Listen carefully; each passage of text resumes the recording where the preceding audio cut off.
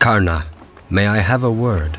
Lord Krishna, since when have you sought permission for anything? I know your ways, trickster. Leave me to my silence.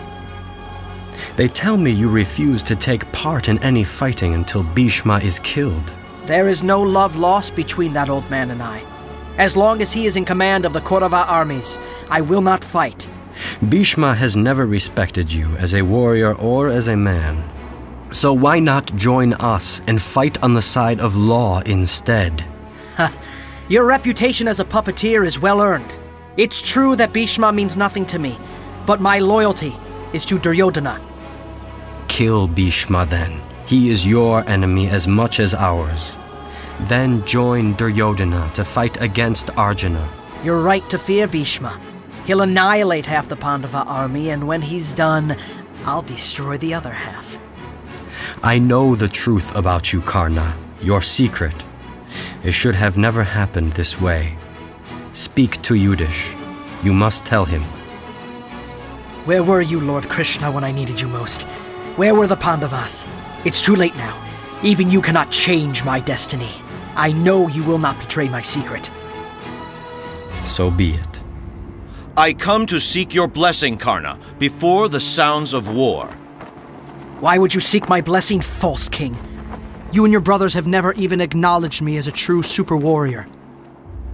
Then prove me wrong. A true super warrior would show his enemy respect. Fine. Today you have my blessing, for whatever that's worth. But tomorrow, nothing will stop me from killing your brother Arjuna. We do not fear you, Karna. Then you're bigger fools than I thought. You know I wield the Brahmastra, the greatest weapon in this war, and I vow only to use it on Arjuna. Listen to me, noble warriors. If any Kauravas or their soldiers want to fight for law, I offer you now a place to join me in the Pandava ranks.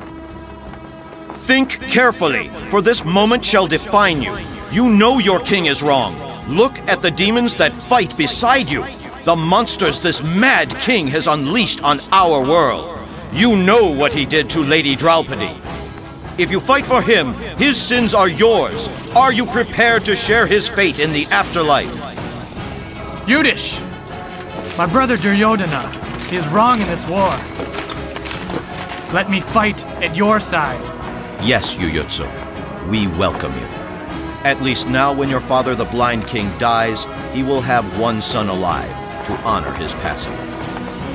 The time for memories has ended. Come, my brothers. We have a war to fight.